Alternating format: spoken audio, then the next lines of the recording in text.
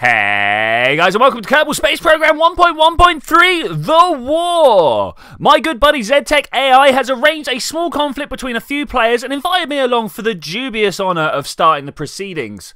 Kerbinside is, of course, the go to mod for dividing up Kerbin, and I have been allotted the Western continent. You know, the one with the desert.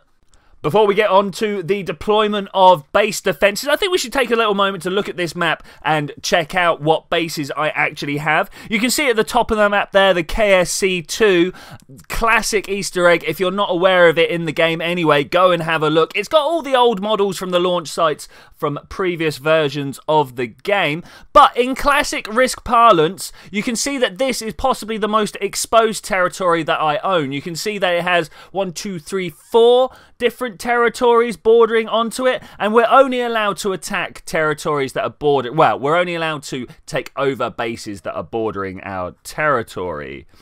Down below, we have the Area 110011. That is, of course, Area 51 if you are translating from binary. Longest runway on the map, and we will make use of that. To the left, we have the Green Coast, uh, sorry, Green Basin, which is threatened almost directly by Green Coast as you can see over there in someone else's territory. And we also, of course, have Hamburg Cape and all the way down at the bottom, the shelf.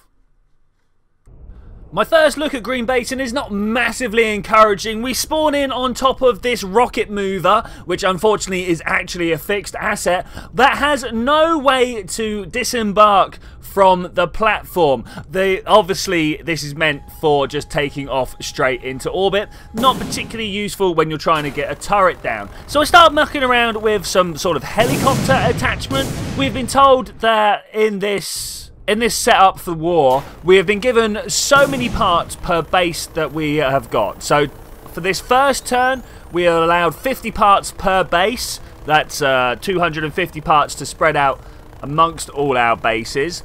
But if we use a detachable launch craft, as long as we recover those parts afterwards, they can go back into our parts bin.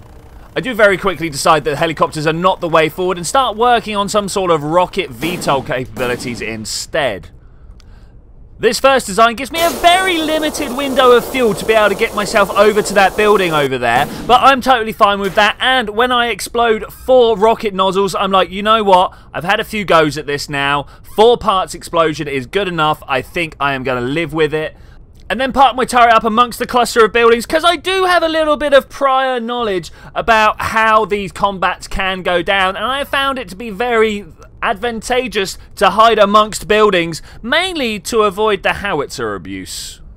After the difficulties of Green Basin, I decide to leave it for a little bit. I still have many, many parts to spend over there. I can use up to 50, and so far, including the four that I blew up, I only spent seven, 17. So that's pretty good. So what we have here is a new design of turret and a new deployment system. Uh, unfortunately, the deployment system doesn't quite work as intended, but we will get into that when I go and deploy it. One of the major problems I've got is the power consumption. Now, when I'm just being a turret and sat down not doing anything, power consumption not really the biggest problem uh, and I was a little bit worried that maybe using my weapons would consume power, but that's what that testing that, that just happened there was all about. No, using weapons does not uh, consume power, but dragging my great big turret around like this does consume power. But once we find ourselves in a, a, relatively stable position, I go and decouple the deployment system and drop it down. Here we go deploying a second turret at Area 51, which is what I'm going to call it just for convenience. I could call it Area 110011, but it's a little bit wordy. Again, you can see that I've been putting my turrets right next to buildings because, well, it just... It narrows the range that people can kind of sneak up on my AI. And of course, the longest runway in the world deserves the smallest plane we can do. The two turrets weighed in at 16 parts each, and this plane has 18. That brings me up to a total of 50.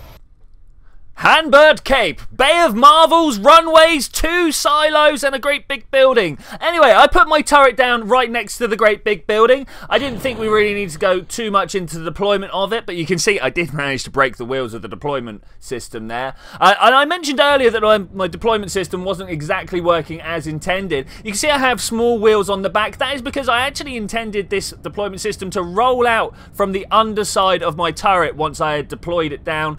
Didn't work quite as intended, which is the phrase of the day, it turns out. Something else that didn't quite go as intended was trying to make my way up this slope. Now, I really didn't put enough wheels on this thing to give it the oomph to be able to make it up such a slope. Even with a run up, I find myself in trouble. And then afterwards, once I've got myself in this little rut that I, uh, right here, I seem to be completely stuck, so I decided to deploy my turret right here. Unfortunately, once the deployment system has been recovered, one of the landing legs had actually destroyed itself, so the stability on this turret might not be the best. The shelf is quite possibly my most lush of base areas. This is, of course, because it is so far south of my desert. And the the turret deployment goes absolutely smoothly. I literally have nothing to report here. So we are just going to watch the video of these turrets getting put down. And I can go, hey, look how well that went, guys. It's so smooth. So smooth. Moving on to what could be considered the juiciest target that I own, the KSC-2. Actually a little bereft of places to put turrets, but after a quick look round I decided to put it amongst all these administrative buildings back here, maybe storage buildings, I'm not quite sure, but thankfully there's a little diagonal line where I can shoot from. I'm pretty sure I can launch my missiles over the top of most of these buildings. This place seems relatively safe, and turret 2 goes amongst the buildings a little way down. Back at Green Basin, I have redesigned the VTOL because I decided that building right next to the launch pad was not far enough away. Indeed, I come all the way over to this other set of buildings over here. This took many, many practice runs to get down like this. Yet, even still with the practice runs, I managed to blow up a landing leg. It's disgraceful. Quick rename, recover of all the parts for the launch base, and a small nudge with my weapon, and we managed to get ourselves into a semi-stable configuration. So that's my deployment report, and I would like to just have a few moments with you guys talking about the turret that I am using here. You can see that I have basically a missile for every occasion on the outside. It's not really to try and get the planes, uh, it's more to provide a distraction for them.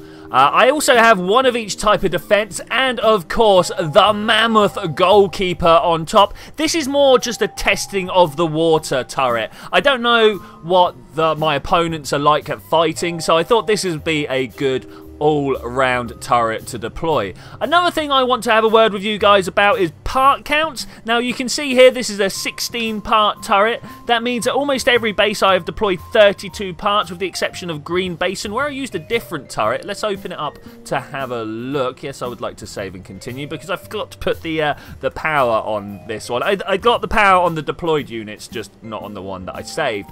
The other ones that I've been deploying are these tiny turrets. This is literally no, no missiles, nothing like that. Just the goalkeeper and defences.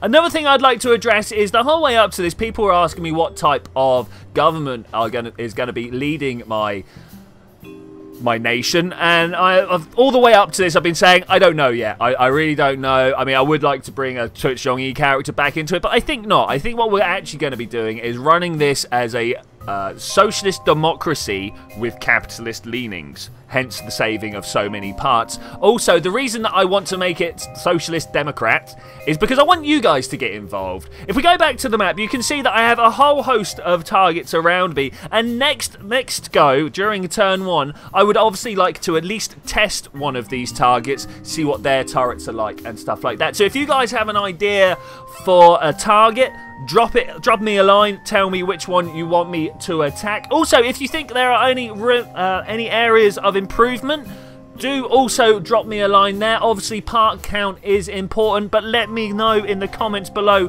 what you want to see. I guarantee if enough people say that yes this is a good idea i will implement it because you know that is how democracies work. But yes, as I say, that is my first turn deployment. I will see you next time when we're going to do some kick ass in, because that is what we do in these war programs. And I will see you then when we're going to do that.